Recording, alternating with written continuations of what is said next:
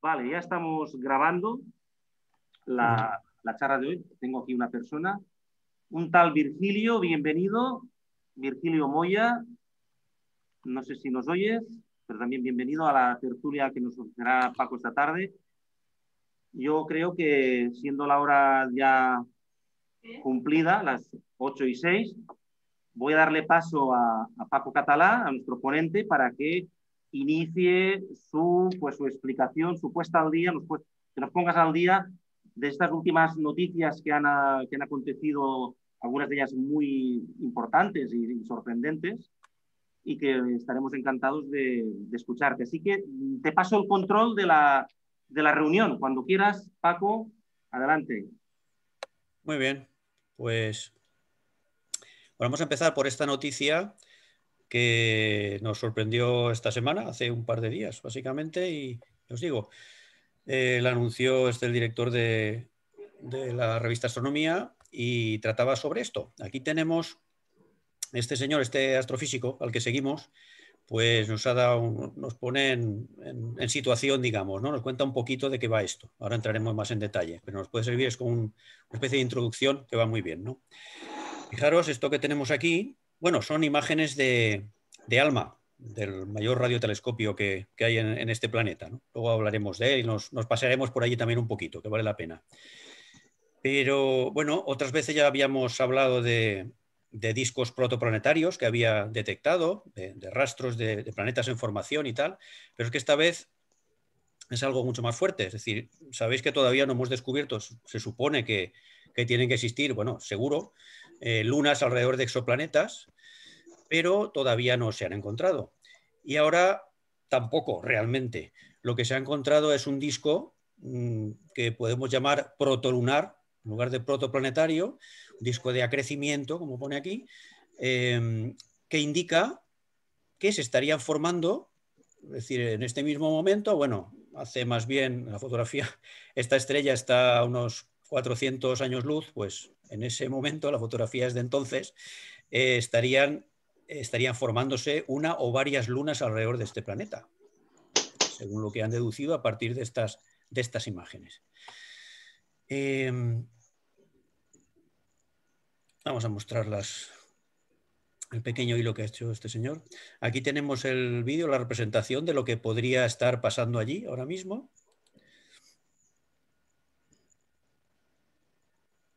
Este sería el, planeta en cuestión. Este disco alrededor. Como veis es pues lo mismo que, que suponemos que ocurre alrededor de las estrellas, ¿no? a la hora de formarse sistemas planetarios, pues estaría formando alrededor de un planeta. Eh, acordaros que Júpiter y Saturno pues, parecen como pequeños sistemas solares, donde en lugar de una estrella en el centro, pues tenemos un, un gran planeta ¿no? gaseoso.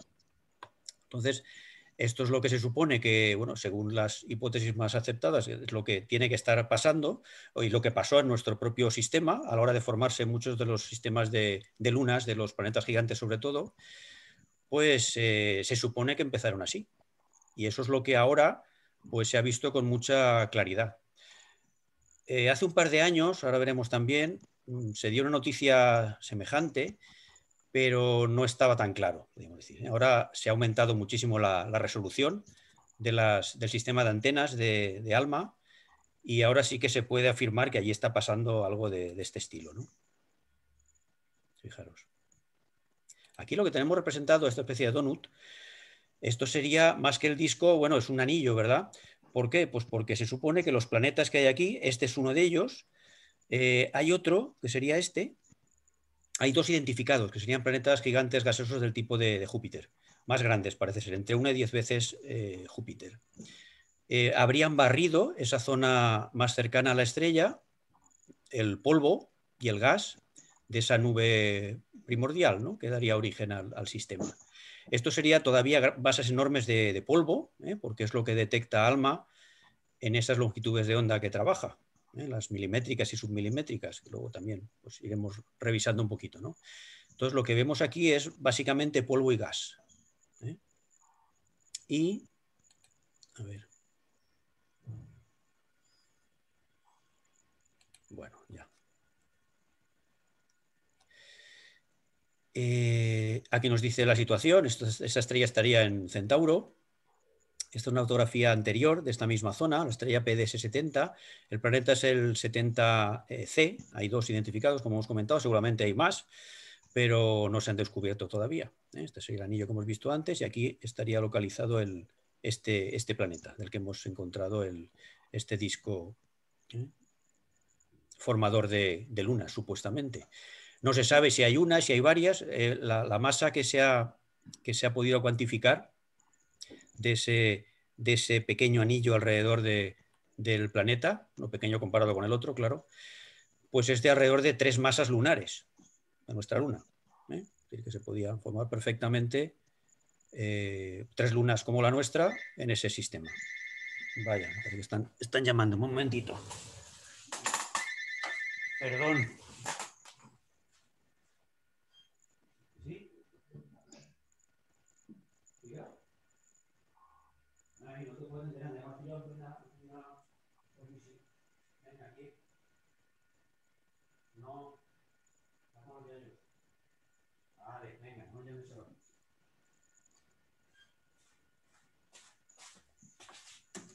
Perdón, ya estoy aquí.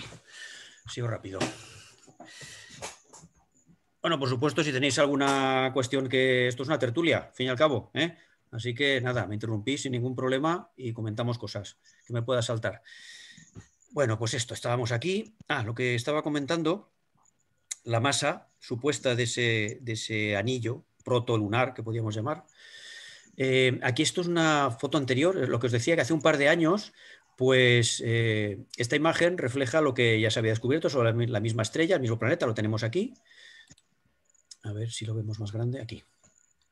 Eh, combinando imágenes de ALMA y de los de dos instrumentos del, VLT, eh, también del Observatorio Europeo Austral.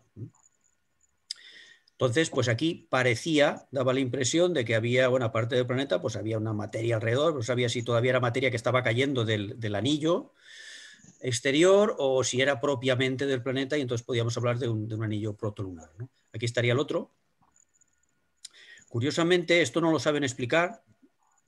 Esta sería eh, la masa, una masa de polvo y el planeta andaría por aquí. Es decir, que da la impresión de que el, de que el anillo se lo había dejado atrás. Entonces, no tienen muy claro cómo, por qué puede pasar algo así.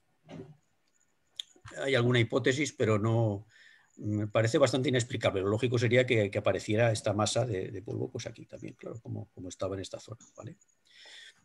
Por cierto, decir que la, estrella central eh, no es que esté tapada con un cronógrafo, sino no es necesario. A estas longitudes de onda las estrellas pues lucen muy poco y por eso ALMA es tan interesante, este radiotelescopio, trabajando en estas longitudes de onda, porque permite fácilmente identificar, o mucho más fácilmente que en otros casos, pues por contrastar con la, luminosidad de la estrella, es decir, que la estrella no deslumbre, como pasa en otros casos, con otras longitudes de onda. Bueno, pues eso, em, nada. Eh, decir que la estrella, por supuesto, es una estrella, bueno, muy joven, de unos, eh, está formando todavía, está formando planetas a su alrededor, unos 5 millones de años, se calcula, y estos son uno de los pocos planetas en formación mm, que se, se han identificado. ¿eh? Por tanto, han sido, pues eso, bastante, están siendo bastante estudiados.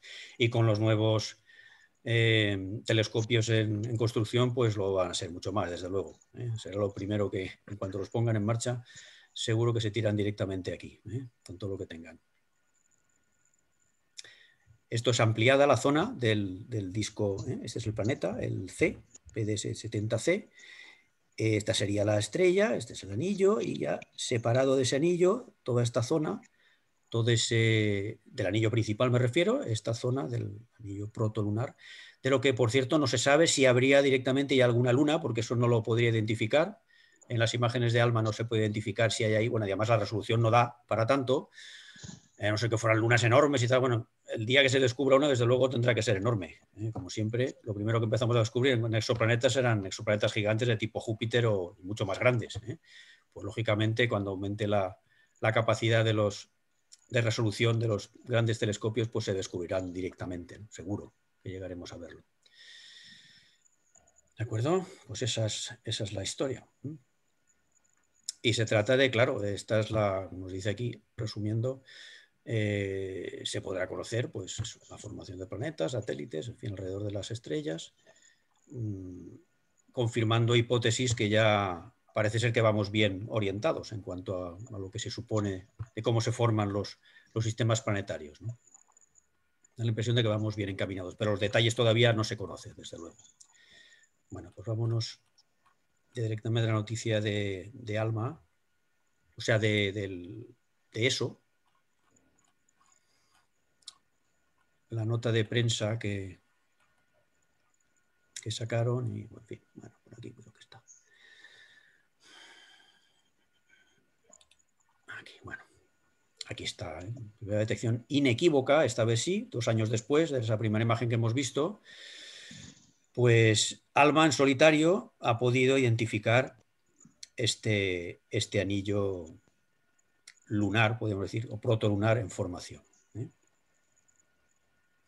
Aquí una cosa que, se me ocurre, no sé si habéis leído más sobre esto, pero yo en ningún sitio he encontrado cómo pueden diferenciar que realmente este planeta en formación, esta materia no está cayendo y está acrecionando, digamos, está creciendo ese planeta. ¿Cómo se puede saber si realmente se, está formando, se están formando lunas aquí o, ese material está todavía cayendo hacia el planeta, aumentando su masa? Esto ya os digo que mm, no sé si a alguien se le ocurre cómo lo pueden. ¿sabes? Luego yo no lo he encontrado en ningún sitio, no me ha dado tiempo. Y de entrada aquí no lo explica. Los propios autores no, explican cómo ven con tanta claridad que esto es un disco formador de lunas alrededor de un exoplaneta. Y no simplemente el exoplaneta que está creciendo. Eh, aquí nos lo comenta. Bueno, eh, sobre algún detalle más. La estrella está a casi 400, vale, años luz, eh, es una estrella joven, 5 millones de años aproximadamente. El disco tendría suficiente masa para formar tres satélites del tamaño de la Luna, lo hemos comentado antes. Mm, se trata de probar teorías sobre la formación de planetas, en fin.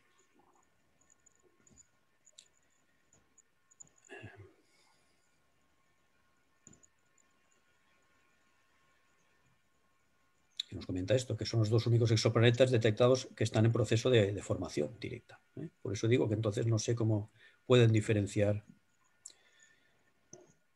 que no se han formado. Seguramente, bueno, puede estar ocurriendo todo a la vez, perfectamente, pero no veo claro esto, desde luego. Nuestro, sistema solar. Con mucha seguridad. ¿Qué?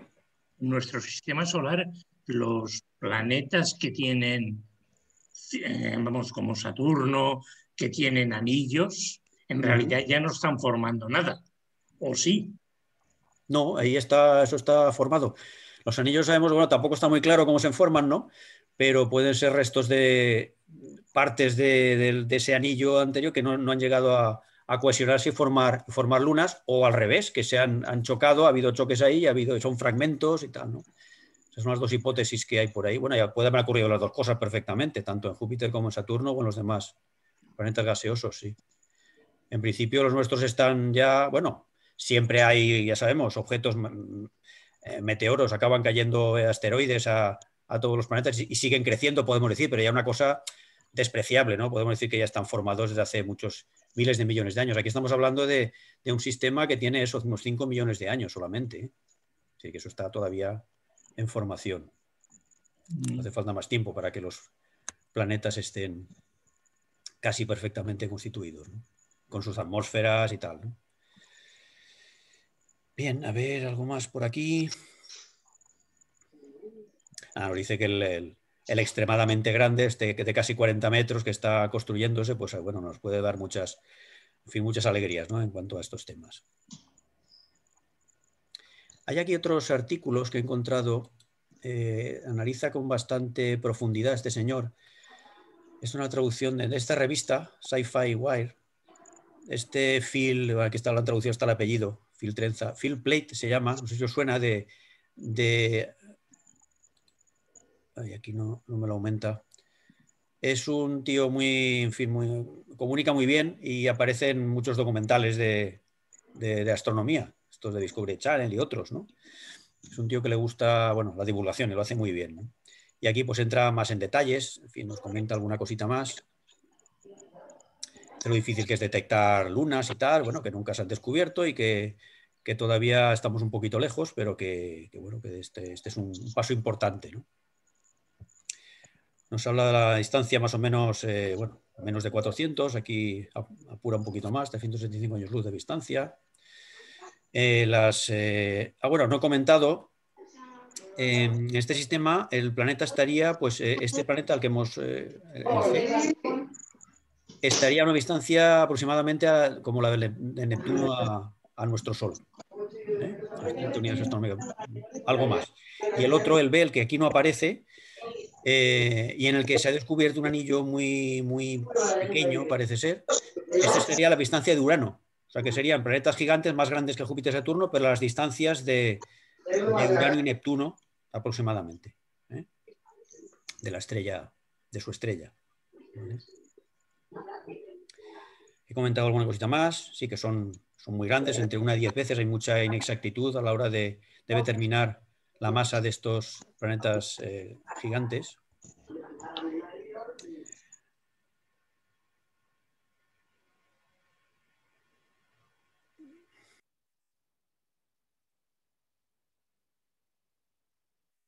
Paco, Paco, disculpa que te. Paco, disculpa que te, te, te he silenciado. ¿no? He silenciado yo sin querer, perdona. ¿Ya se me oye? Sí, se te oye, disculpa. Sí, se te oye. Vale, vale, he visto aquí un mensaje extraño. perdón, perdón. Eh, bueno, no he comentado que pues, estos anillos, claro, estas, eh, masas de, polvo y de, gas están a temperaturas bajísimas, claro.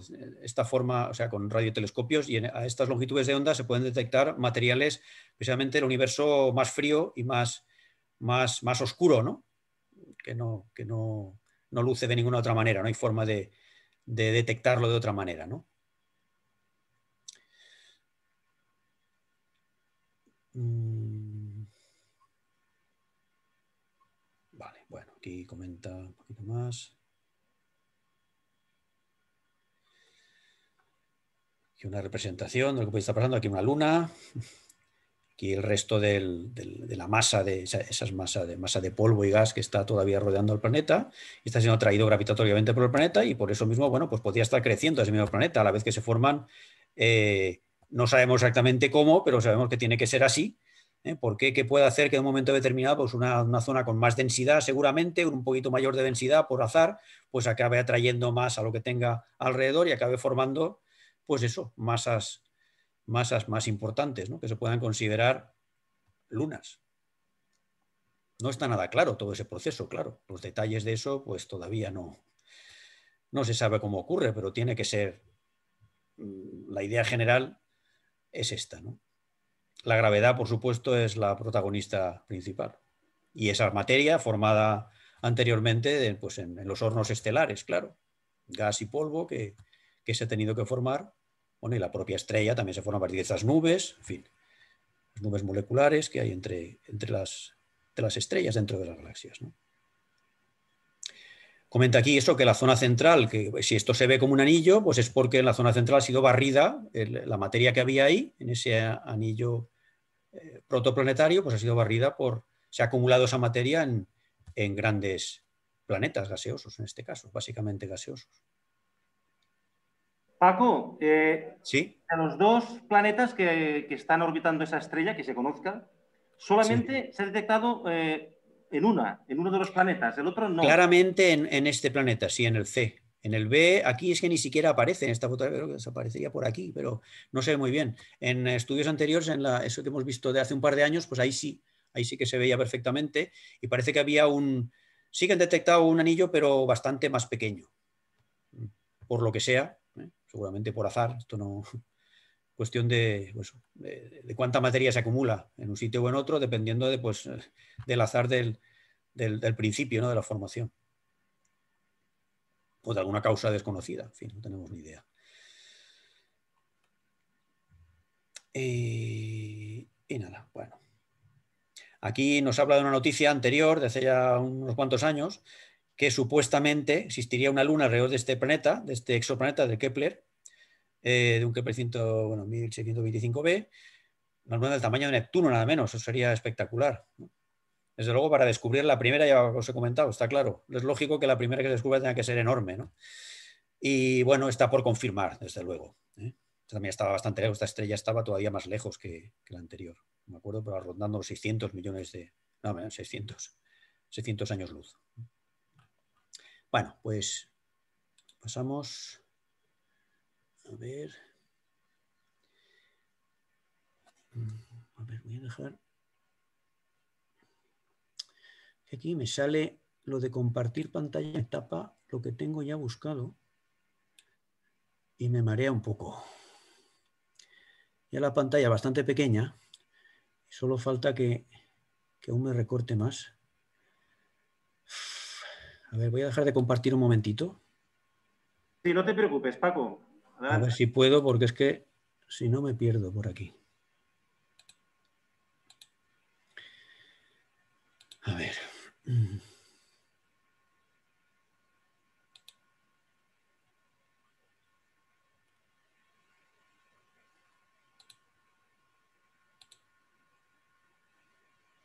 No, si parece, vamos a, darnos una vuelta por, por el observatorio, ¿eh? que vale la pena. El, alma. En un vídeo nos ponen un, nos ofrecen un tour por, por, todo el sistema, nos habla un poco de la historia y tal, iremos a lo más interesante. Son solo 12 o 14 minutos, iré saltando lo que sea menos, menos interesante.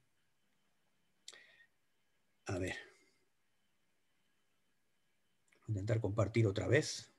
Espérate. A ver cómo vuelvo. Compartir. Vale, ¿estamos? No sé. ¿Me veis, no? Sí, se ve perfectamente, sí.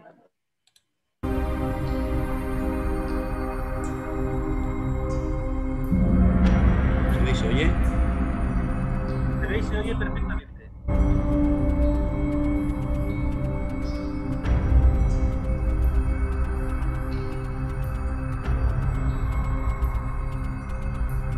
A 5.000 metros están estos de altura. Mínima humedad, de forma que se pueden detectar estas, estas ondas, si no es imposible. One of the harshest environments on Earth, amid volcanoes, desert plains, and bitter winds. ALMA, the Atacama Large Millimeter Submillimeter Array, is ready.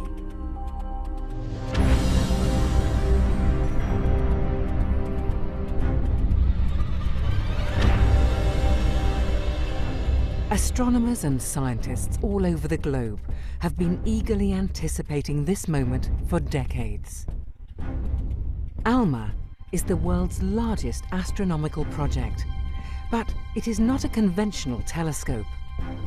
Instead of collecting and analysing visible light, it looks in a different and largely unmapped part of the spectrum.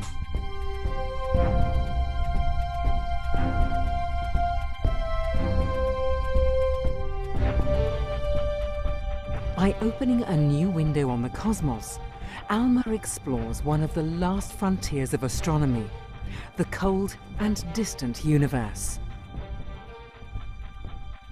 All in search of answers to some of the deepest questions about our cosmic origins. How do stars and planets form? How did the first galaxies form? The Chajnantor Plateau in North Chile. Despite the literally breathtaking altitude of 5,000 meters above sea level, ALMA has flourished. Over the last few years, more than 50 antennas have been installed across the high desert plain. ALMA is a unique giant telescope built in a partnership between Europe, North America and East Asia in cooperation with Chile. 66 state-of-the-art antennas will observe the universe at millimeter and sub-millimeter wavelengths, 1,000 times longer than visible wavelengths.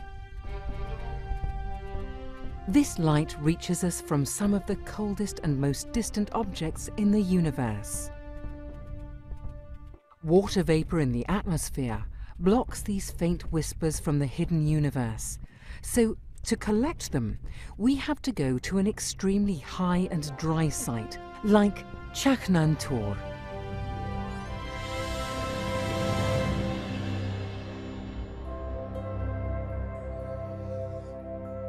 The origin of the ALMA project dates back decades.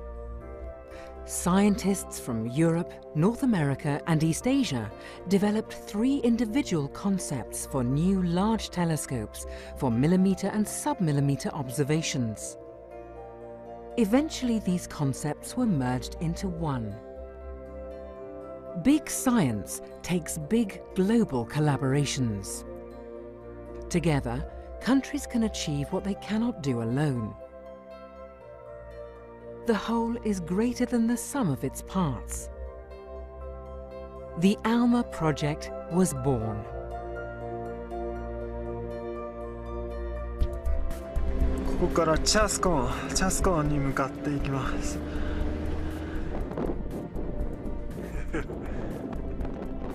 this new telescope needed a home, and eyes turned to Chakhnantur. Every aspect of the site from the astronomical to the meteorological, was thoroughly tested and the atmosphere monitored daily. The conclusion? Chaknantor was the perfect place for ALMA.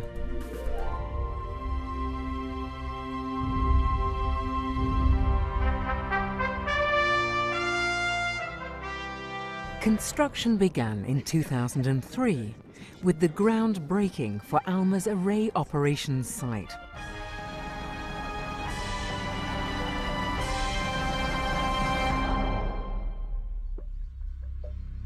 Conditions here, at an altitude of 5,000 metres above sea level, are harsh and very challenging. Strong winds, low temperatures, intense ultraviolet radiation, and a desperately thin atmosphere. So thin that to work here, people need supplementary oxygen and have to undergo rigorous health checks.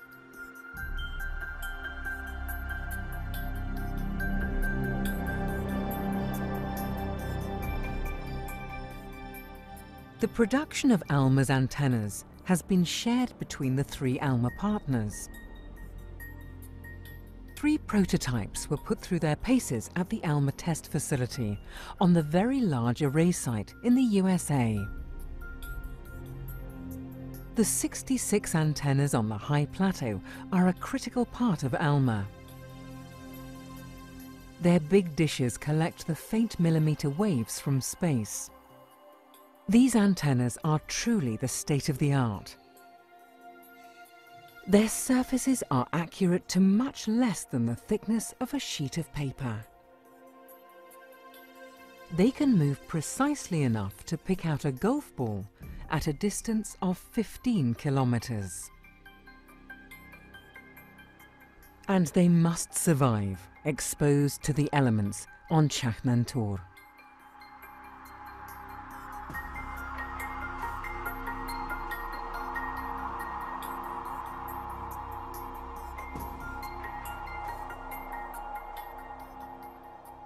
Twenty-five antennas have been provided by the European Southern Observatory, 25 by the US National Radio Astronomy Observatory, and 16 by the National Astronomical Observatory of Japan.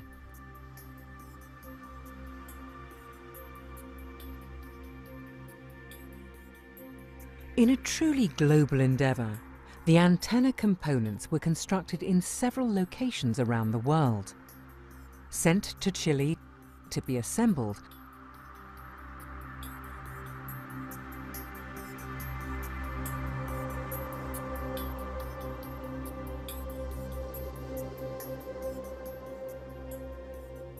and then tested at the Operations Support Facility in readiness for their first time observing the sky.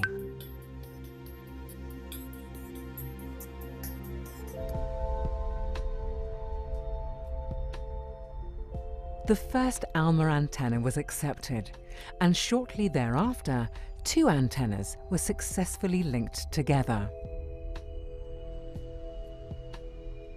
Detectors in each antenna register the finest nuances of the faint signals collected by the dishes.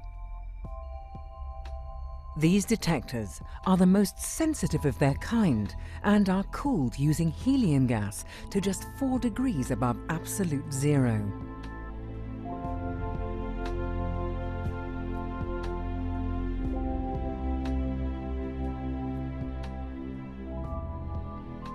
The first completed antenna makes its way up to the array operations site.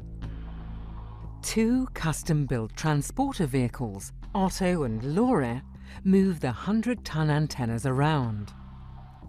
Otto carefully climbs the winding road, carrying the high-tech antenna up to its final home on the high plateau. This first antenna was soon joined by many more.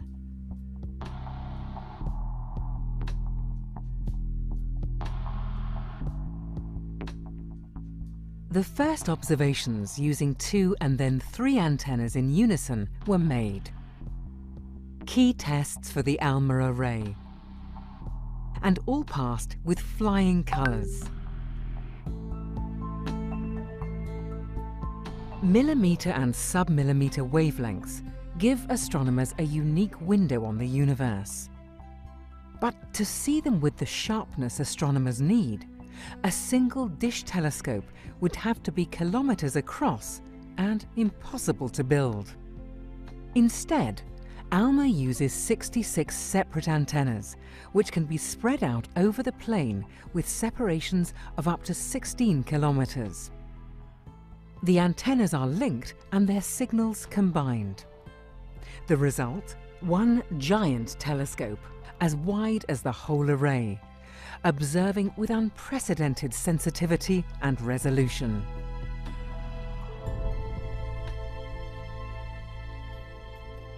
Making sense of these intertwined signals takes the highest altitude supercomputer in the world. With 134 million processors performing 17 quadrillion operations per second, as many as the fastest supercomputer in the world, the ALMA correlator on Chaknantor combines and compares the signals from every antenna.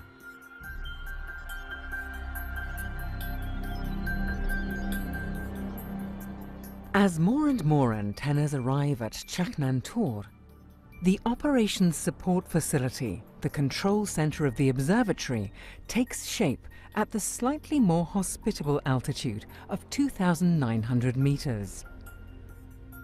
The site is busy around the clock, operating the telescope, testing and maintaining antennas and other equipment, and home for the ALMA staff during their day and night shifts at the observatory.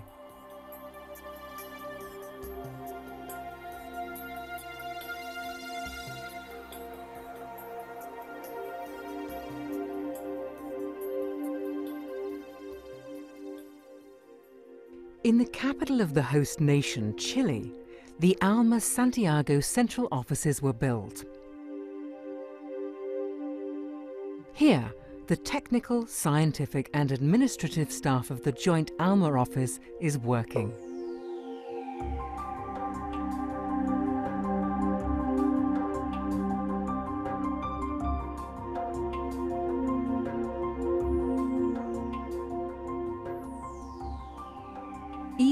Before the construction stage was complete, the first scientific observations began with a partial array of antennas. ALMA had opened its eyes.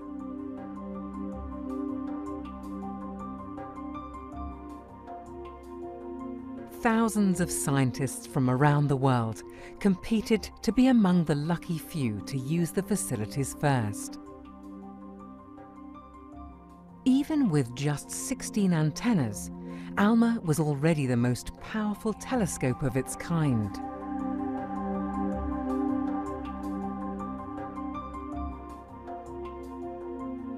The first scientific observations fulfilled everyone's hopes. The Antennae galaxies, a pair of colliding galaxies with dramatically distorted shapes.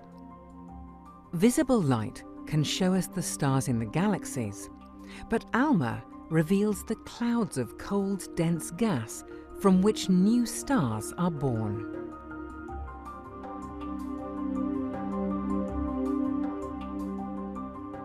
The heart of the distinctive galaxy Centaurus A. ALMA peers through the opaque dust lanes that obscure its centre.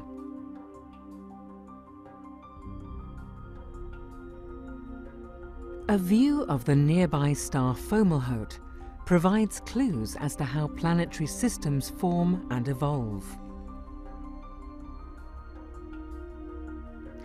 Cosmic dust grains found around a brown dwarf suggest that rocky planets might even be more common in our universe than we thought. Sugar molecules spotted around a young, sun-like star for the first time. The building blocks of life in the right place at the right time to be part of new planets forming around the star.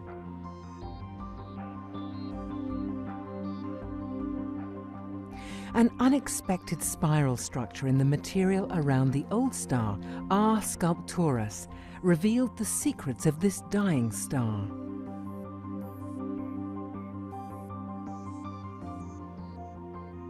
Vast streams of gas flowing across a gap in the disk of material around a young star. A key stage in the birth of giant planets, observed for the first time. And all this before the array was fully complete.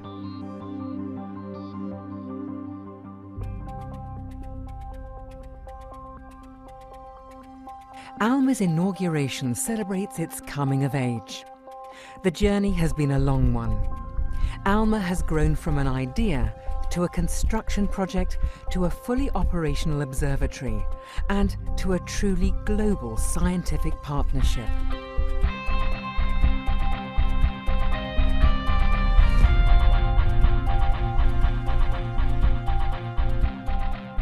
In the serene and lonely beauty of the Chilean Atacama Desert, ALMA is ready for the future. By using this marvelous telescope, the world's astronomers will peer deep into the hidden secrets of the cosmos in search of our own cosmic origins.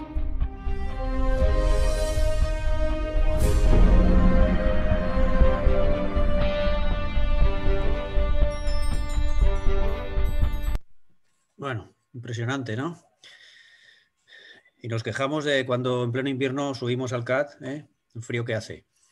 Esto tiene que ser, aquí encima hasta necesitas oxígeno, nada menos. Hay gente que le cuesta adaptarse, gente que lo necesita y eh, han de adaptarse como los, alpinistas cuando van ahí a, a, escalar, ¿no?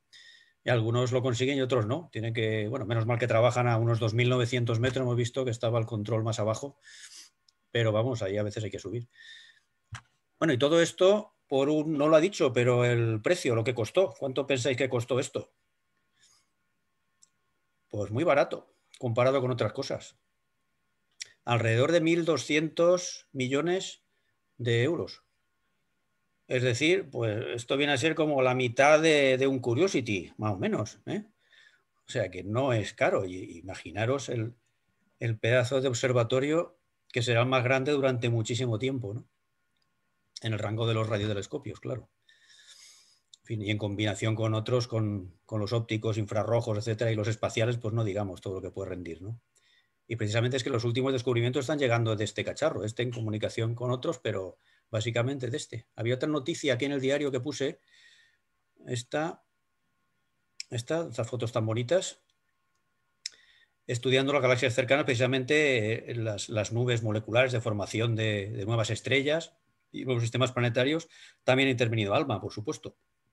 aparte del telescopio espacial y los del VLT también, el VLT también. Es decir que, sí. No sé si sabrás la respuesta a la pregunta, pero eh, estaba previsto en principio para 66 antenas, ¿verdad? Sí. Que ocupaban, digamos, un área de 16 kilómetros, he oído. ¿Eso no se puede, no lo pueden agregar más después? Porque esa, esa superficie que tiene allí, ese, ese desierto, vamos, será por espacio. Eh, entonces, ¿no se podría conseguir todavía más resolución si pusieran en vez de 66 el doble de antenas? ¿O, es que está limitado hasta ahí y punto? A lo mejor en el futuro, pero de momento no he visto que se planteen aumentar, simplemente aprovechar lo que ya tienen, desde luego, al máximo. Cuando quieren conseguir el máximo de resoluciones cuando los ponen a 16, pero si no, es decir, se, pueden, eh, se puede trabajar en otros, no siempre hay que trabajar a esas, esas resoluciones, parece ser, seguro que estén observando. Y en principio es tan grande la capacidad que, en fin, no sé, yo si en el futuro muy lejano podrían... Yo supongo que también sería mucho más complicado eh, meter más, eh, coordinarlas todas, digamos, hacer la interferometría posible, ¿no? Igual hay problemas técnicos aparte de, de por pasta y tal, ¿no? Por espacio, desde luego, no. Vamos, con esto ya tienen, tienen para trabajar unos cuantos años. ¿eh? Se calcula que es unas 20 veces más potente que el, que hay, el más grande hasta el momento, que era el que estaba en Estados Unidos, el VLA, creo que llaman. El radiotelescopio más grande, o el conjunto de antenas también, era un array de estos. Es, sigue trabajando. Por cierto, comentar que, el, que el ALMA también eh, colaboró en la, en la famosa foto del agujero negro que vimos el año pasado. ¿Eh? Fue una parte importante de, los observatorios que trabajaron para, conseguir aquella, aquella foto ¿eh? tan costosa. Y bueno, ¿quieres comentar alguna cosita más sobre esta noticia? Pasamos a la siguiente, o sobre Alma, o sobre lo que yo puedo contestarla. Nada, pues nada, pasamos. Pasamos a la otra. Bueno, hace un par de semanas, ya hemos adelantado antes, apareció eh, una noticia relacionada con Encélado, el famoso Encélado, que, bueno, vamos a resumir un poquito lo que sabemos de Encélado y por qué es tan interesante, ¿no? Aquí en este articulito del 17, pues ya resumía lo último hasta ese momento y lo que daba alas a la imaginación, ¿no? Eh, a la posibilidad de que, bueno, de que pudiera aparecer vida fuera de la Tierra, ¿no? que, fuera el primer sitio donde se pudiera encontrar vida fuera de la Tierra. Sabemos que los candidatos, pues, a veces ya lo hemos comentado, alguna charla y tal, pues, eh, aparte de Marte, que siempre está ahí, ¿no? Y es el más explorado hasta el momento, y el más seco también, pues eh, tenemos a las lunas de unas cuantas lunas, lunas heladas que se dice, ¿no? O mundos oceánicos les ha llamado también, porque se ha demostrado en algunos de ellos pues que, hay, que hay mucha agua, mucha agua en estado líquido, que es lo que interesa de cara a la existencia de vida posible o a la habitabilidad de un, lugar en el, sistema solar, pues hay mucha agua, desde luego. ¿eh? Ya no solamente en forma de hielo, sino debajo de ese hielo. Y uno de los sitios donde bueno, más seguro es esto es Encélado. Ya sabéis que también está Europa, por ahí. En Europa está casi claro, pero bueno, aquí es que se vio directamente como salía por en chorros, ¿no? Ya sabéis, fue la Cassini la que descubrió en el año 2005, inesperadamente, completamente inesperado fue aquello. Esta fotografía es una de ellas, fijaros, se hizo famosa, claro. Pues esto es una reproducción artística, ¿eh? sobre aquí han puesto a la Cassini, pero bueno, la foto es así, esto no es un dibujo, esto es una foto, lo que pasa es que la han plantado ahí a la, Cassini, ¿no? pasando por encima y olfateando uno de los géiseres, ¿no? Pues mm, hablando de sitios eh, habitables que no habitados de momento, pues desde luego estos, estos sitios, estas, lunas de los planetas gigantes, son el, eh, el, primer sitio donde habría que buscar, está claro. ¿eh? Y, y, Marte, pues ¿por qué buscamos tanto en Marte a pesar de que el agua allí, pues eh, desde luego brilla por su ausencia y si, existe estará a muchísima profundidad y a lo mejor formando, parece ser, salmueras y tal, que es lo, más que se ha podido encontrar ahí, porque en superficie es imposible y como no hay una capa de hielo que la, que la pueda almacenar, pues tampoco, en fin. Mm, da la impresión de que Marte, bueno, lo tenemos ahí al lado y por eso, en fin, es muy interesante desde otros puntos de vista también, geológicamente y tal, ¿no? Pero de cara a la, a la, búsqueda de vida, a pesar de todo lo que nos cuenten, pues mm, yo soy de la idea de que no sé lo que pensaréis vosotros, pero que mm, como esperanzas de encontrar algo vivo allí, pues yo tengo muy poquitas. ¿eh? Pero sin embargo, en estos otros sitios, pues es el primer sitio donde iré a buscar. Claro, aquello está muy lejos, ¿eh? sobre todo en Célado. Europa la tenemos ahí al lado, como quien dice, pero es que esto está todavía al doble. ¿eh? Y habría que nada más para llegar, pues te tiras siete u ocho años, a poco que, que te descuides. ¿no? Y desgraciadamente, pues no hay previsto después de Cassini, pues ninguna misión que se pueda acercar por allí. Sí que hay proyectos y tal, pero aceptados ninguno. Y últimamente, como sabéis, pues eh, se han decantado las agencias espaciales, la americana y la europea, los chinos nos lo que harán, pero también parece que andan muy dirigidos a, Marte sobre todo, a la Luna y a, Venus. Últimamente Venus parece ser que va a ser la, la, estrella invitada, ¿no? Tanto por parte de la NASA como de la Agencia Espacial Europea. Por tanto, se va a aparcar. Bueno, tenemos la suerte de que sí, eso sí que está avanzado. las, eh, misiones JUICE, se llama una, la de a las lunas heladas de, Júpiter, la europea, la Agencia Espacial Europea, que está previsto que explore pues, las, tres lunas de Galileo, las, eh, heladas, podemos decir, es decir, todas menos Io. ¿eh? Las más interesantes desde el punto de vista, pues este, de explorarlas en el sentido astrobiológico. Y también hay otra misión, la, Europa Clipper americana, que se dedicaría exclusivamente a Europa. Pero cuidado, sin ni siquiera bajar, ¿eh? simplemente desde la órbita, haciendo, ni siquiera entraría en órbita. Curiosamente, porque parece ser que es lo más complicado, lo más caro, en fin, sería lo ideal, pero, pero no. Va, va a hacer unos cuantos sobrevuelos, bastantes, desde luego, y esa es la idea. Y eso ocurriría, pues serían lanzadas las dos misiones colaborarían, por supuesto. Eh, están, en principio iban a ir juntos, pero al final se desmarcó eh, la NASA y, llevan su, exploración por otro lado, exclusivamente por Europa. Pero bueno, en el fondo seguro que van a colaborar. ¿eh? Y luego estaban los rusos por ahí, que colaboran un poco con, Europa y tal. Bueno, lo, más espectacular es que, la, misión europea tiene previsto, después de explorar, después de hacer sobrevuelos continuos de, Júpiter y de, de, estas, y de las lunas, acabaría en órbita de Ganímedes, nada menos. Todavía no se ha hecho nada así. ¿eh? Es decir, sería, será muy interesante. Pero esto, pues eh, en la primera mitad de, esta década está previsto que salgan para allá. Es decir, que hasta que no, hasta el 2030 aproximadamente, y eso si todo va bien, no tendremos noticias de, no empezaremos a tener noticias de estas dos misiones. Y por supuesto que ya os digo que de, volver a Saturno y a su sistema, pues nada de nada. De momento nada, o sea que habrá que esperar, ya no sé si lo veremos algunos de nosotros. En fin, pues ¿qué sabíamos sobre qué había interesante aparte de, bueno, lo primero de todo, el descubrimiento de esta, en esta luna tan, tan pequeñita, de unos 500 kilómetros, sabéis que es el, objeto con mayor albedo de todo el sistema solar, tiene un albedo del 99% prácticamente, es decir, tremendo brilla más que, la, nieve recién caída aquí, ¿eh?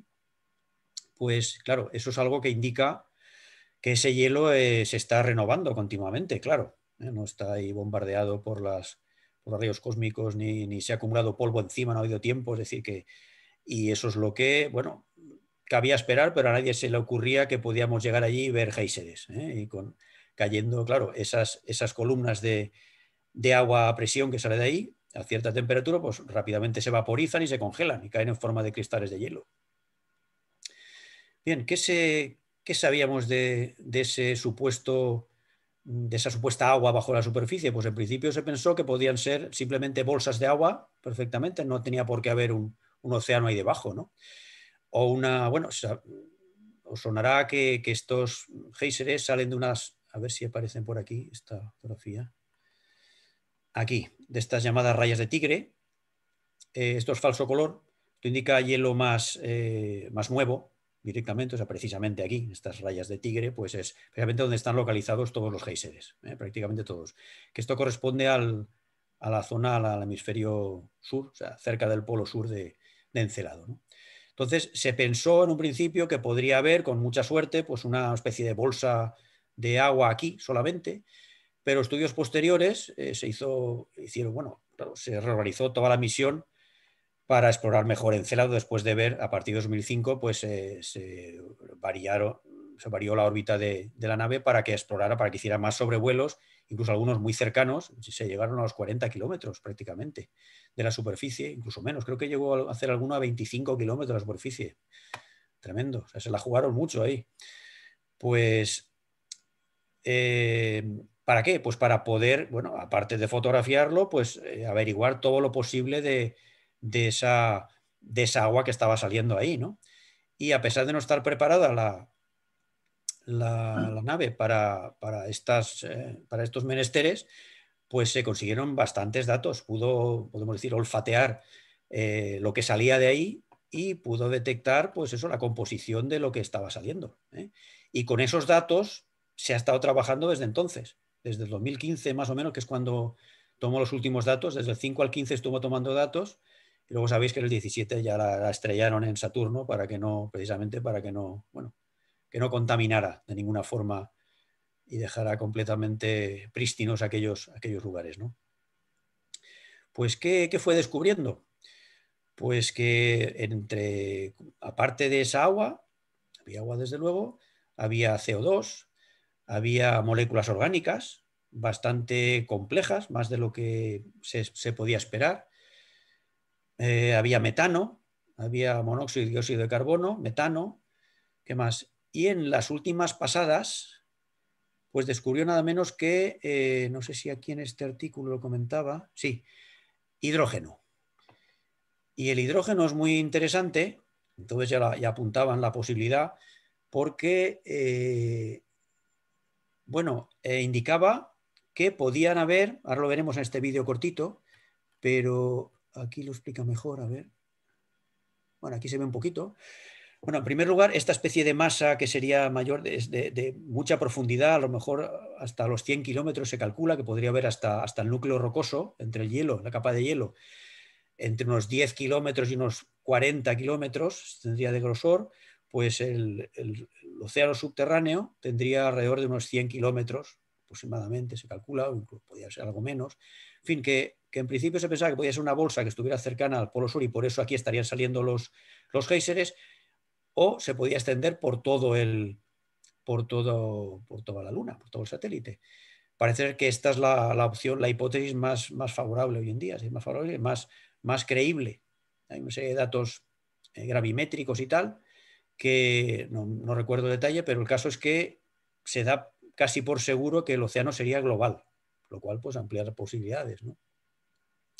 Y aquí tendríamos, lo más interesante es que, claro, estos géiseres estarían alimentados ya no solamente por el agua, sino por calor interno, por supuesto, tiene que haber, calor interno, porque si no, aquí no se movería nada, esto estaría muerto geológicamente. Eh, ¿Calor interno de dónde? Pues en principio por fuerzas de marea, como puede pasar en Io y pasa en parte menos en, Europa, parece que sería el origen de, ese calor interno de estas lunas, ¿no? por las flexiones y el rozamiento de las rocas y tal, debido a pues eso, contracciones y dilataciones eh, deformaciones gravitatorias por, efecto de las lunas más cercanas, en este caso creo que es Dione. Entre Saturno y Dione pues, se formarían unas tensiones ahí a lo largo de, las órbitas que generarían pues, esa, primero esa actividad interna, ese calor interno y luego incluso las, grietas en superficie, que sería la explicación de las grietas que están por todo, aquí también, pero algunas no llegan hasta el interior, hasta los océanos. Pero en Europa también sabéis que hay un montón de... está completamente agrietada la superficie congelada.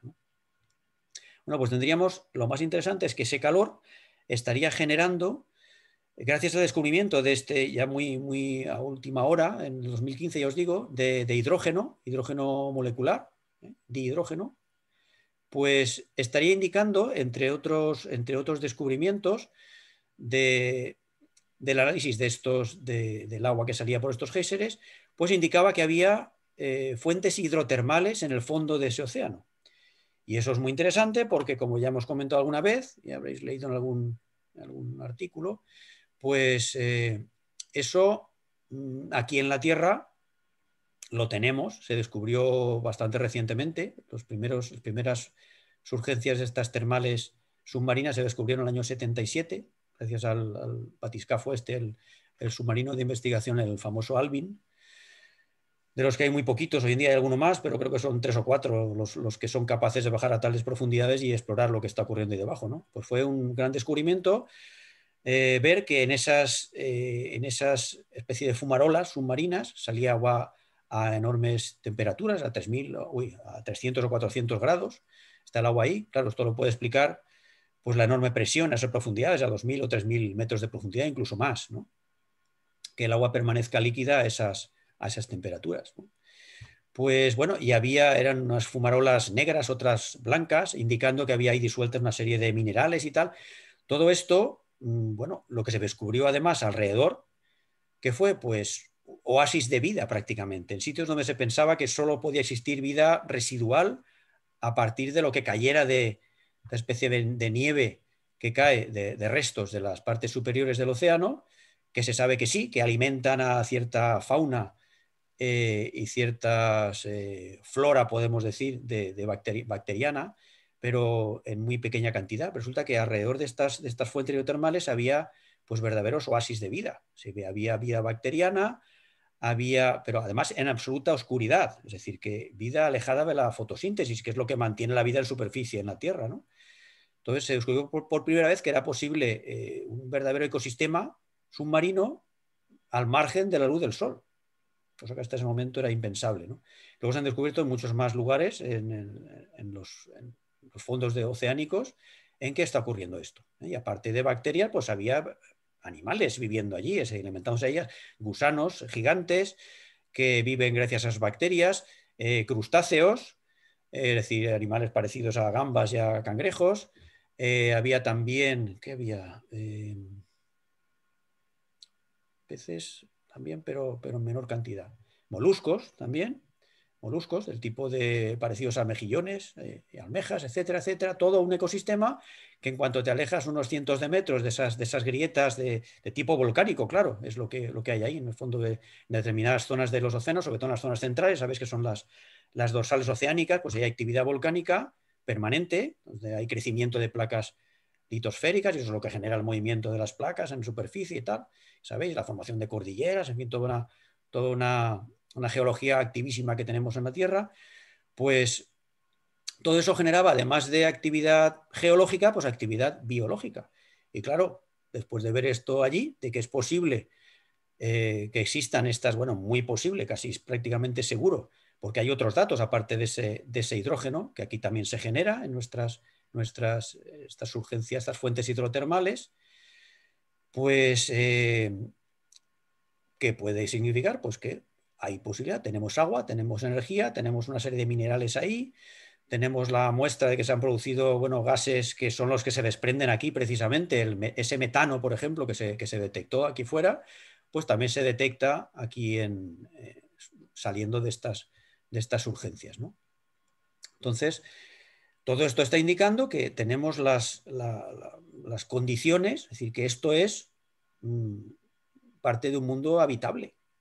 No sabemos si habitado, pero habitable al menos para una serie de, microorganismos que son los que aquí están en la base. Es decir, que bueno, hay mm, muchos metabolismos posibles, es decir, los microbios terrestres pues han desarrollado cantidad de, bioquímicas de todo tipo y que luego los organismos superiores, incluidas las plantas y nuestras propias células, han copiado, podemos decir. Es decir, que, son muy versátiles y pueden vivir en condiciones tremendas para la vida, imposibles para cualquier otra forma de vida. ¿no?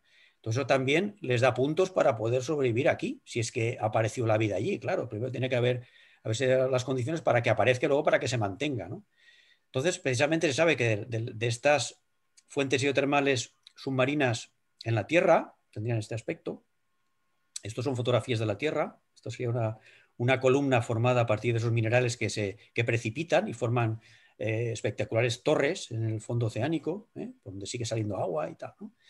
Pues ahí se piensa, aparte de que ahora hay vida actual, eh, en las, las, teorías más aceptadas, las hipótesis sobre origen de la vida en la Tierra, nos ponen en este escenario, es decir, que se piensa que incluso eh, se dieron las condiciones hace pues alrededor de entre 3.600 y 4.000 millones de años para que apareciera aparecieran las primeras formas de vida, que se piensa que tuvo que ser en, el océano y precisamente en e, estas zonas en las que, las que tienen más, más, más puntos para, para haber sido los lugares donde empezó la vida. Paco, una pregunta. ¿Ese océano de Encélado es un océano salado?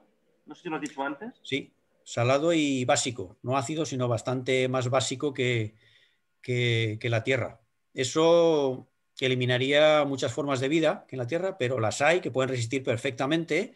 Se han hecho hasta experimentos en que, eh, simulando las condiciones del, océano eh, subsuperficial de, de, Encélado, simulando esas condiciones, ver si algunas especies eh, terrestres de, arqueas, se llaman ese tipo de, bacterias, de, son organismos extremófilos que se llama, o sea, pueden resistir a temperaturas altísimas, a presiones tremendas y sin oxígeno, por cierto, no hemos comentado el oxígeno, aquí no hay oxígeno, desde luego, pero es que en la Tierra, en algunas zonas, pues tampoco, en esas zonas más profundas de la Tierra o enterradas en el, en el lodo y tal, pues ahí prácticamente el oxígeno no existe. Y estos organismos, estos microorganismos son eh, anaerobios, se llaman, es decir, que directamente huyen del oxígeno, no pueden vivir bajo, bajo el oxígeno, que es lo que necesitamos la inmensa mayoría de todos los demás seres vivos en la Tierra, ¿no? Es decir, que serían como verdaderos extraterrestres viviendo en la Tierra, ¿vale? No nos imagina que pueda haber seres, pues los hay, ¿eh? Y se han identificado de momento, habrá seguramente muchísimas más, porque viven en sitios pues, muy difíciles de, localizar. Hay unas 60 especies de microorganismos, de estas arqueas, eh, extremófilas que se llaman, que viven en estas condiciones, en ausencia de oxígeno total, en grandes temperaturas, incluso está una de ellas es la, la que tiene el récord de supervivencia a mayores temperaturas. Vive hasta los 120 aproximadamente de temperatura, ¿eh? en aguas recalentadas alrededor de estas, de estas eh, fumarolas, podemos decir, de estas fuentes hidrotermales submarinas. ¿vale? Y además eh, se sabe que consumen hidrógeno y CO2, de eso se alimentan y respiran, ¿vale? Para producir su propia materia, crecer, reproducirse, y desprenden metano, y eso es lo que se ha encontrado precisamente, todo eso se ha encontrado en, las, en, estos, en estos géiseres que olfateó Cassini. Por tanto, pues bueno, todo esto ya se sabía, por cierto, y bueno, ya habéis visto muchas veces la vida en Encelado, posible vida, tal, siempre parece ser que, se haya descubierto, nunca se ha llegado a descubrir, todavía nadie ha descubierto ninguna bacteria que viva allí, porque, bueno, en principio es que Cassini no estaba preparada para detectar, es que aunque hubiera salido por aquí, esto lo decía con mucha gracia el propio Marín, eh, aunque se le hubiera, le caído un, calamar encima, no se hubiera enterado, vamos, no, tenía... De entrada lo hubiera salido desenfocado, ni la foto ni, ni, los análisis pueden haber detectado nada. No voy a detectar más que moléculas orgánicas y no demasiado grandes, ¿vale? Pero las ha detectado. ¿eh?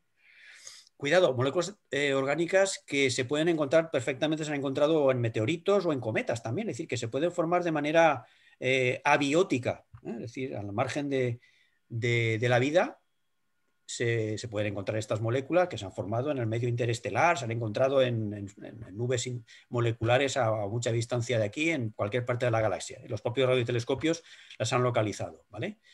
Es decir, que eso no indica directamente que haya seres vivos pero ahí están, digamos, las, las piezas con las que la vida se las eh, eh, apareció en la Tierra, desde luego. Hacían falta estas moléculas orgánicas, energía y agua para que eh, todo el mundo está de acuerdo en eso, para que aparezca la vida.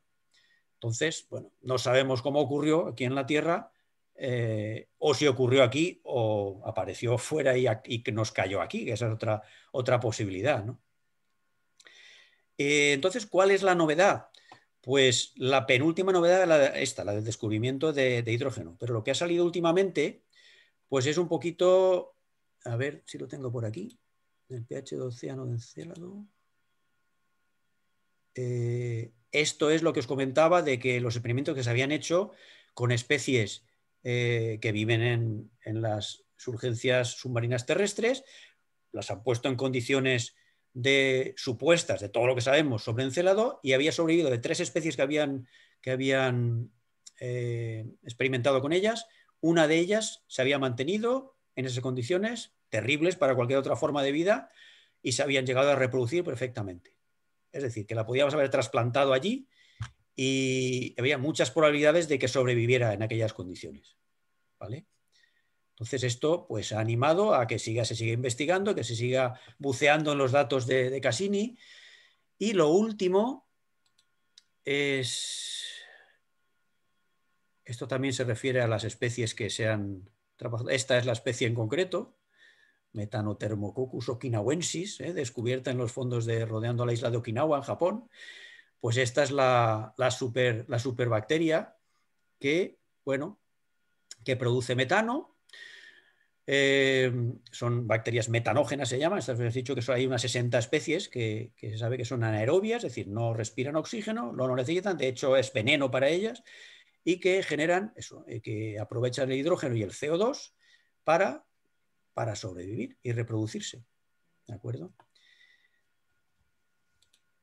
Aquí está. Bueno, ¿qué han hecho estos investigadores? Pues trabajar con modelos. Eh, a partir de los datos, de todo lo que se sabe, de las cantidades relativas de, estos elementos interesantes que hemos comentado antes, el hidrógeno, el CO2, el metano básicamente, el hidrógeno molecular. Bueno, lo he comentado que otra prueba, hago un inciso aquí, otra prueba de que hay surgencias hidrotermales es que se detectaron también entre, eh, el hielo y estas moléculas en el, vapor que salía de, de los géiseres, se detectaron eh, granos muy finos de, óxido de silicio, es decir, prácticamente de arena, eh, pequeñísimas, ¿eh?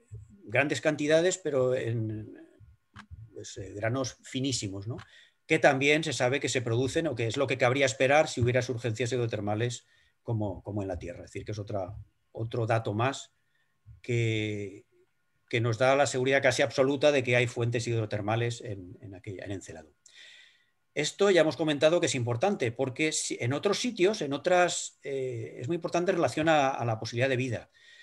¿Por qué? Pues porque si, el agua estuviera entre dos capas de, hielo, que eso puede ocurrir en determinadas circunstancias, eso se sabe, es casi seguro lo que pasa en, en otras lunas heladas como Ganímedes o como Calisto, pues eso elimina casi la posibilidad de casi absolutamente la posibilidad de que, pueda haber vida, porque no habría este, este trasiego de, elementos químicos junto, a, calor, es decir, esas fuentes de energía junto con el agua eh, y esos minerales necesarios para que la vida se desarrolle, incluso que aparezca primero, claro. Entonces, entre dos capas de hielo, esa agua que pueda quedar ahí sin que, sin que llegue a congelarse, pues estaría a muy baja temperatura y además no habría ninguna energía suficiente para que, apareciera la vida allí. ¿no? Entonces, lo interesante precisamente es esto. ¿no? Y esto es lo que se piensa que en, la, que en la Luna Europa también exista. Lo que pasa es que no hay pruebas tan claras de que, de que pueda, tan claras como en Encélado. ¿vale? Se supone que puede haber incluso más calor interno y que, bueno, que ese océano que existe, el océano global, que parece ser que también está bastante claro, porque hay un montón de pruebas eh, magnéticas y gravimétricas y, obtenidas por la Galileo, básicamente, pues posiblemente también, pero os digo, no hay tanta, tanta seguridad como en este caso, como en el caso de Encelado. Y aquí lo que hicieron, pues eso, trabajar con modelos, de manera que, según las cantidades que se han encontrado, aquí lo explicamos en este corto artículo de en Investigación y Ciencia, que ha salido pues hace un par de semanas.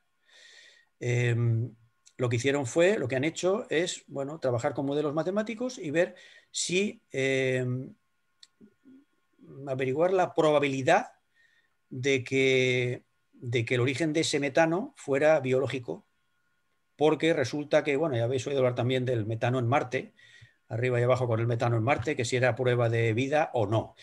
Bueno, es que no he comentado, pero el metano puede aparecer por muchos otros motivos, claro. Puede ser de origen geoquímico, podemos decir, geológico, ¿vale? No tiene por qué intervenir la vida.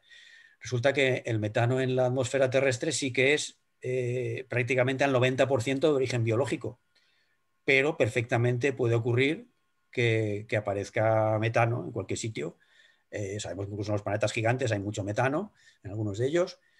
Eh, en cometas, en, muchos sitios han aparecido, es decir, que no tiene por qué, ser señal de vida. Pero resulta que lo que han descubierto estos, estos investigadores con sus modelos es que pues, la cantidad de metano que se ha encontrado, pues parece excesiva para que el origen sea, sea geológico. ¿vale? Entonces, sería compatible la cantidad que se ha encontrado, sería compatible con, si incluyen en los modelos estos, estos microorganismos productores de metano, pues las cuentas salen. Entonces, la probabilidad, no hay seguridad absoluta, pero la probabilidad es muy alta de que, de que, exista, de que existieran estos microorganismos semejantes a estos allí, que funcionaran de una manera similar. No decimos, claro, estas, mismas especies, desde luego nadie, nadie esperaría encontrarlas allí, porque si, ha aparecido vida allí, la evolución habrá sido muy diferente, están adaptados a aquellas condiciones y a lo mejor pues, bueno, son organismos eh, que, trabajan más o menos o que viven eh, más o menos igual, digamos, que, pero que no tienen por qué ser exactamente esta especie, claro, eso sería absurdo. ¿eh? Entonces, esa es la única novedad, es decir, que no se ha descubierto vida y han salido ya varios científicos a, a aclarar que, no, ¿eh? a partir de, como siempre sabéis que las noticias a veces dan de una manera un poquito pues eh, deformada y vende mucho lo de si ha aparecido vida, ¿no? O si hay probabilidades muy altas y tal. Entonces, lo único que han descubierto es, pues esto, aquí nos lo explica, eh, que la probabilidad, resumiendo, de que, de que exista, existan microorganismos que trabajen de esta manera, que vivan de esta manera, produciendo metano, metanógenos se llaman, pues sería mayor que ese metano se hubiera producido de forma geológica, digamos, ¿eh? o inorgánica, o abiótica, ¿de acuerdo? Salvo que eh, ese origen abiótico sea desconocido, lo dejan ahí. Es decir, que hay un proceso que es el más, el más conocido y el que más eh, metano produce, y es el que podría estar produciendo el metano de, Marte, y es la serpentinización que se llama. Esto es una cuestión de geólogos, decir, que em, a partir del, calor, o sea, especialmente de esas fuentes hidrotermales que se filtren en, las rocas, pues esa, agua recalentada por la actividad volcánica puede hacer que algunos minerales se transformen, minerales de las rocas volcánicas, de ese fondo oceánico, se transformen en otros minerales, en la, el mineral que se llama serpentina, por cierto. Por eso se habla de serpentinización. Y ese proceso genera hidrógeno y además eh, metano de forma completamente inorgánica. Entonces, pues lo que ellos eh, vienen a decir es que de esa forma no podría haber tanto metano como el que se ha detectado. Esto luego está un poco cogido por pinzas de luego, ellos mismos lo reconocen. ¿eh? Para eso hay que, hay que suponer, bueno, han trabajado con estos el análisis bayesiano que se llama, que precisamente sirven para, para mm, digamos, dar más importancia a una hipótesis o a otra, dar más probabilidad a una hipótesis que a otra. ¿vale? Cuando no se tienen todos los datos, pues eh, nos permite ver qué, es, qué hipótesis sería más probable y trabajar sobre ella, intentar recoger más datos para confirmarla. Entonces, eso es lo que mm, animaría a, a, seguir en esta línea, es decir, bueno, mm, investigar qué pasa allí exactamente. ¿vale? De entrada sería muy difícil. Bueno, aquí nos habla que eh, atribuyen, claro, para esto hay que atribuir, en estos modelos hay que atribuir una probabilidad a la existencia de vida, por ejemplo, y le atribuyen un 35%. Tampoco es muy alta, ¿vale? Atribuyendo esa, esa probabilidad, le sale que, es mucho más probable la, hipótesis biológica que la, que la otra, después de, hacer funcionar el modelo, digamos. ¿eh? Eh, aquí ellos mismos lo dicen. Dice, esta condición no es más que un juego de adivinanzas. Dice, hoy por hoy nadie sabe cuál es la probabilidad que emerja la vida en un entorno habitable dado, ni si ofrece o no condiciones apropiadas para tales. No hay seguridad, desde luego. ¿eh? Pero la probabilidad es bastante alta. Es decir, que no desanima a que se siga buscando. Todo lo contrario. ¿vale? Esa, es la, esa es la novedad que han trabajado más a fondo con esos datos, los han, los han afrontado de otra manera y han desarrollado una serie de modelos matemáticos para para obtener unas probabilidades, ¿de acuerdo? Podría pasar que ese betano mm, fuera de, apareciera por fuentes desconocidas o que no conocemos todavía, fuentes geológicas desconocidas, eso también sigue siendo posible. ¿eh? O que eh, fuera un, metano primordial que ya existiera ahí, almacenado en el hielo, desde el momento en que se formó la Luna, eso es posible, eso se llaman clatratos, creo que se llaman. O sea, eh, estaría ese metano eh, atrapado en el hielo, que es una de las explicaciones del, metano de Marte también. ¿eh? Parece que si estuviera derritiendo en determinadas situaciones de, en, las, estaciones de Marte, pues podría derretirse parte de ese hielo y liberar metano a la atmósfera. Era una de las explicaciones de que apareciera ese metano. Explicaciones que no fueran biológicas, claro. Entonces siempre está la duda. La única forma de demostrar que ese metano es de origen biológico sería eh, llevar instrumentos allí que detectaran la relación de los isótopos, el carbono 12 y el carbono 13. El carbono biológico es eh, carbono 12. Los seres vivos utilizan el carbono 12. Es más ligero, eh, es más fácil de, procesar, parece ser, y la vida utiliza ese carbono. ¿vale? El 13 no. Entonces, mm, eso sería posible mm, haciendo análisis directamente sin tener que llegar al fondo de esos océanos, eh, se podría, haciendo pasadas sobre esos géiseres, eh, con instrumento de instrumentación adecuada, no la que llevaba Cassini, pues se podría detectar si ese, ese carbono de ese que forma parte de ese metano, el metano es CH4, ¿eh? es un compuesto de carbono sencillo, pues se podría determinar si ese, si ese metano es de origen biológico o no. Pero para eso hay que, hay que volver allí. Este es el, este es el trabajo. ¿eh? Una pregunta, Paco, a ver si tú también la sabes. Dime. Eh, bueno, sabemos que la corteza de Encélado tiene varios kilómetros de espesor mm, de hielo, pero debajo de ese hielo existe alguna corteza rocosa o, o, es todo, no creo que sea una pelota, digamos, con una corteza de hielo desde el exterior hasta ese océano. Debe haber alguna. Parece ser que sí. Parece ser que sí. No hay montañas ahí de rocas nada por el estilo, no. Esto imagínate que es una, un, planeta oceánico completamente, como si fuera un, un, astro oceánico completamente y que se ha congelado por las temperaturas de 240 bajo cero. Entonces toda la superficie se va, se va a congelar hasta una profundidad tremenda, claro. Y la parte que no está congelada es, sí, la parte rocosa está debajo cubierta por agua. Es decir, que la cantidad de agua que hay ahí es enorme, claro, en relación al tamaño de, de esa luna. Pues, en Europa todavía es mayor la, cantidad de, agua que hay, sería mayor que toda la que hay en la Tierra, por cierto, porque en la Tierra lo que hay es una capa finísima, sobre todo lo demás es roca prácticamente. La Tierra es una masa de, roca y, algo de, atmósfera por encima y el agua es una capita ridículamente fina, pero aquí tendríamos unos océanos de a lo mejor 100 kilómetros de profundidad, tremendos, mucho mayores que aquí, que la, la profundidad media sabéis que es de unos 3.000 metros, una cosa así, ¿vale? Los océanos terrestres. Entonces, no, no, rocas no hay. En la superficie no hay. Gracias. Lo que sí que parece que hay es una especie de tectónica de placas, pero de placas de hielo, ¿vale? Que se mueven entre sí, se puede, puede haber cierto movimiento, choque, que se pongan encima de otras, que surjan entre las grietas más hielo nuevo, que es lo que está pasando en los géiseres, y eso es lo que se piensa que puede pasar en Europa también. Pero ahí no, no hay, no, se sabe que haya ocurrido, que, esté ocurriendo ahora mismo, ¿no? Se ha detectado, se ha parecido detectar, el Haber incluso detectó algo que parecía ser algo así, pero al menos no parece que sean permanentes como los de, los de Encélado. Claro, cuidado, la permanencia tampoco está muy claro, a lo mejor lleva unos cientos de años eh, funcionando y luego se cierran otra vez y aquello, en fin, no sabemos cuánto tiempo ha estado eso ahí funcionando. Claro, si no hay tiempo suficiente, unos cuantos millones de años, no hay posibilidad de que aparezca la vida tampoco. Así que hay muchos obstáculos para que aparezca la vida. En fin. Y las misiones que se mandan allí, pues eso ya os digo, habría que ir con mucha humildad. No somos capaces de perforar el, hielo en absoluto. Unos cuantos centímetros puede ser, pero eh, imaginaros, es decir, kilómetros imposible de todo punto imposible. Y luego llegar a esas enormes presiones con una especie de submarino, que sería lo único que... Y llegar hasta las urgencias y ver allí si hay, como se ha hecho aquí, a unos 3.000 metros de profundidad o 4.000 como mucho, allí estaríamos a 80 o 100 kilómetros de profundidad. O sea, eso es inviable completamente.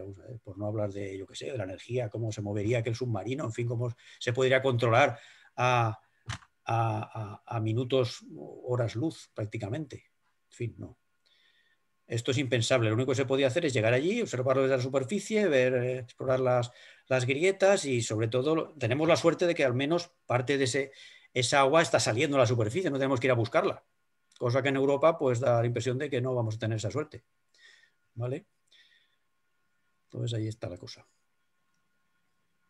¿Más cositas? Si te parece, Paco, vamos terminando ya, porque como estamos aquí en el local y tenemos la, la cena reservada también. Sí, son no las nueve y media. ¿verdad? Es que. Nada, pues tenía alguna cosilla más por ahí, pero ya tendremos ocasión. Bueno, ¿eh? eh, t- tienes Esto era cinco lo más interesante. Paco, tienes cinco minutos si quieres, nos cuentas alguna última cosilla. Mm, No sé si. Bueno, sí, esto es rapidito. A ver si lo encuentro. Adelante, venga. Sí. Era, ¿os acordáis de Betelgeuse el año pasado? ¿Verdad? Que parecía que se nos iba, que iba a estallar, ¿no?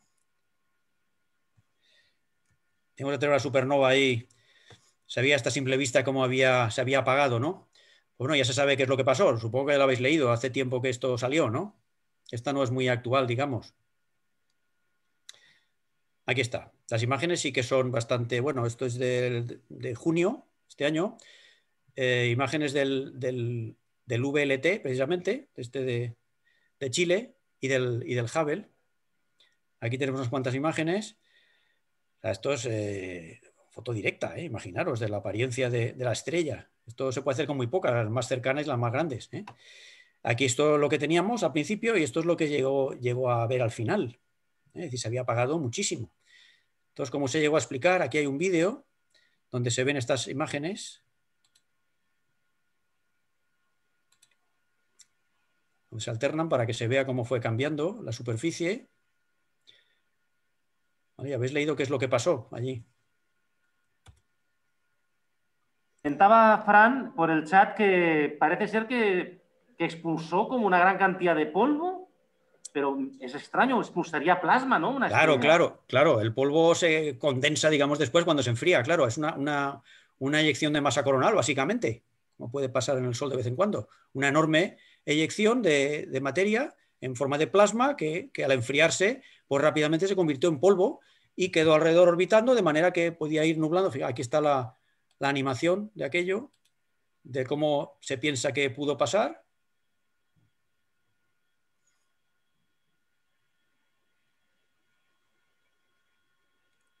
Hay una masa de. No se ve la eyección directamente, pero bueno. Esas celdas de convección y tal, alguna revienta y lanza todo ese material al- a la órbita y parece ser que condensó pues, bastante, bastante rápidamente, ¿no? Y, y- pudo nublar, pues eso, y emborronar la estrella, básicamente. Y por eso ha acabado pasando, al final se ha ido dispersando ese polvo, quedando en órbita ya mucho menos denso, parece ser, y, y ya está.